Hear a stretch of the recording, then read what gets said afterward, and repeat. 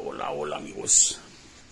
Miren, este, ya estoy poniendo aquí el panel. Miren, como les dije, este, este panel es de 29 pulgadas. 29 pulgadas y cuarto, con 3 cuartos van a ser 30 pulgadas, miren. 30 pulgadas. 30 pulgadas, porque es lo que tenemos de ancho de ese. Entonces e, este retorno lo vamos a incrustar de aquel lado, como les dije. Nomás lo que, lo que les quería decir, cómo lo estoy poniendo. Le estoy poniendo clavos de una y media calibre 18 si es un calibre 18 este clavitos. Y vamos a poner clavos aquí y en la parte de arriba. Lo voy a voltear ya que le punté ahí con los clavos. Pero después vamos a hacer este vamos a meter tornillos. Tornillos de 2 pulgadas. Para que entre así y tenga más soporte todo esto. Nomás eso lo, lo que les quería decir.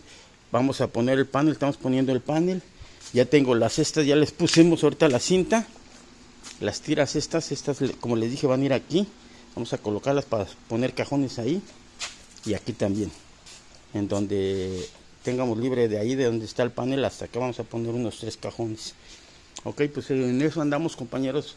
Y esto es el paso a paso, no se me desesperen, ya saben. Como les digo siempre, todo con excelencia y seguimos con el paso a paso. Ok, aquí está, mire, el panel. Este es con cinta bien pegadita. No se cae, bien limpio. Tiene que ser, bueno, aunque no se va a mirar, ¿verdad? Pero este es este, es lo que vamos ahorita.